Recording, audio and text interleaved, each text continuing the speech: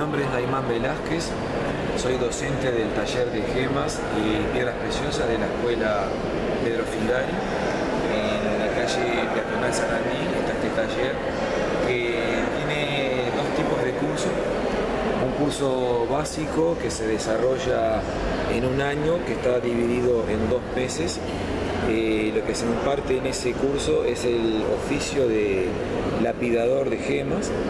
Eh, principalmente trabajamos las piedras preciosas que cuenta nuestro país, que principalmente están en el departamento de Artigas, que como todos bien saben, eh, la principal gema que, tiene Uruguay es la amatista por su belleza y color este, intenso, que la galardona a nivel mundial como una de las mejores amatistas del mundo. Después también tenemos el cuarzo, que es la piedra transparente, pertenece al mismo grupo de la, misma familia, y el citrino, que es una piedra que tiene un, tratamiento térmico que adquiere ese color que va del amarillo canario a un naranja intenso.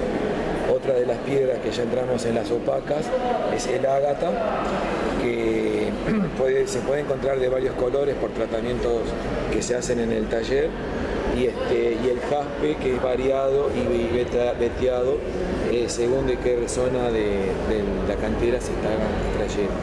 El curso que se dicta en la escuela, como bien dije anteriormente, es este que estoy hablando, es de un año, está dividido en dos semestres.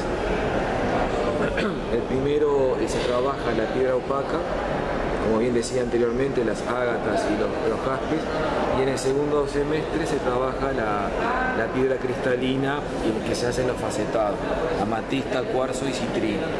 Eh, otro curso que también se imparte en la escuela eh, Figari, este que hablé anteriormente, se puede dictar en el turno matutino y o vespertino. Turno nocturno se implementó hace ya dos años un nuevo curso, el tecnólogo en gemas, que mm, se imparte en el, como decía, en el turno de la noche y comprende desde el oficio propio de la lapidación, principalmente desarrollando diseños de productos. La idea es elaborar eh, productos nuevos que sean competitivos en el mercado y tiene una duración de dos años eh, que está dividido en cuatro semestres y un curso que completaría, el esa sería la tecnicatura, completa el tecnólogo con un par de semestres más, o sea, sería tres años.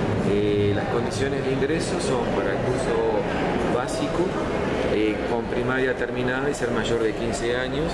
En el tecnólogo de gemas o biotecnicatura tiene que tener un bachillerato de cualquier orientación y por supuesto ser mayor